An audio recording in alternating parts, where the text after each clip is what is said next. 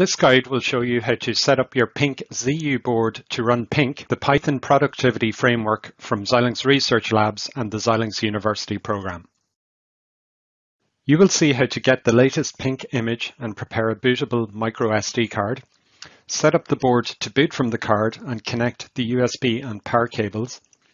You will see the boot sequence so you can tell when the board is ready for you to connect and once the board is ready, you will see how to connect to the board using the Jupyter Notebook framework and start exploring your board. Your board comes with a micro SD card preloaded with the PYNQ image, so you can skip this step.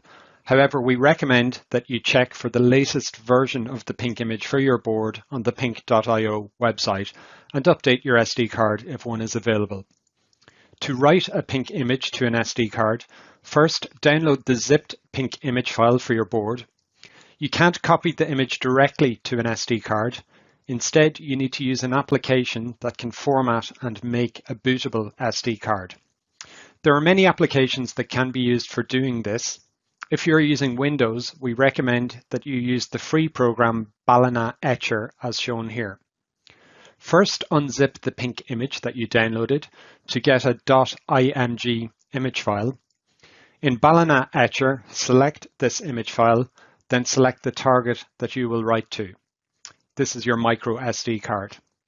Click Flash to start writing to your card. We recommend that you use a high quality branded SD card and at least 8 gigabytes in size, preferably larger. Faster speed SD cards will be faster to flash and may give you better performance when using your board with PYNQ. If you're using a Mac or Linux, you can use the dd command to write the image. You can find full instructions for writing the image in the PYNQ Read the Docs, and you can find a link to this documentation again on the pynq.io website. We will use this simplified graphic to show you how to set up your board. Take your micro SD card loaded with the PYNQ image and insert it into the micro SD slot on the front of the board. Insert the card as indicated.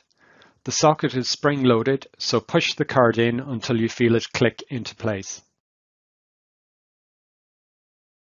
Locate the slide switch labeled with JTAG and SD.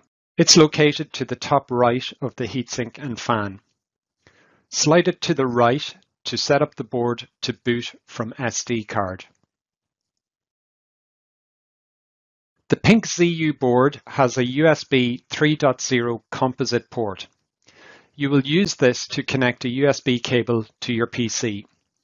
When you boot the board with the PYNQ image, this will set up a USB Ethernet gadget on your PC, allowing you to connect to the board through the USB cable using a web browser. A standard micro USB cable is included with the board and can be plugged into the left part of this USB port. Or you can connect a 3.0 micro USB cable as shown, which is the full width of this port. USB 3.0 will be faster than 2.0, although depending on your application that is running on the board, this extra bandwidth between your board and PC may not be noticeable. A 12 volt power adapter is included with your board that can provide 5 amps for a maximum of 60 watts. This should be more than enough for almost all applications on this board. Make sure you check that you are using the right supply.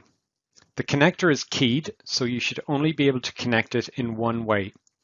The small clip on the connector should be at the top as you are inserting it.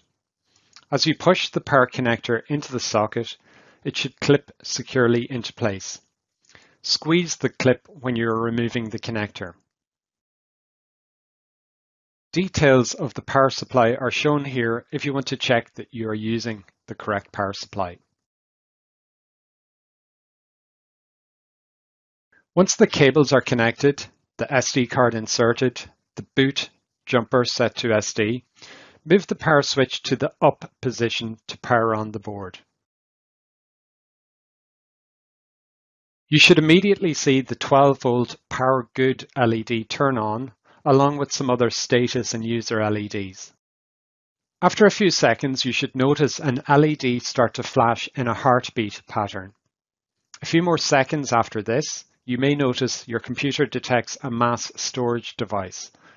At this point, the USB Ethernet gadget should also be set up through the USB cable. This will appear as a new network adapter in your PC, and the USB cable will behave as a network connection to the board. For example, as if you connected an Ethernet cable between your PC and board.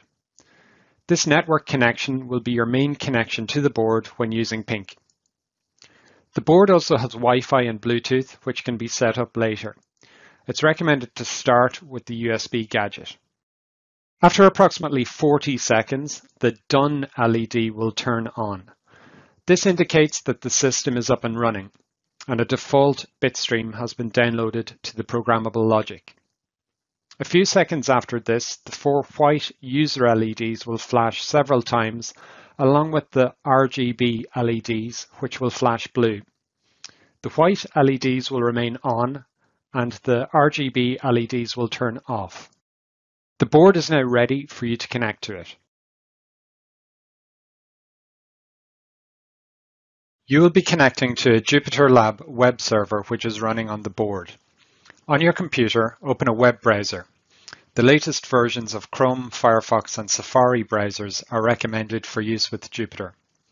In your web browser, enter the address 192.168.3.1 lab and this is the default IP address of the board.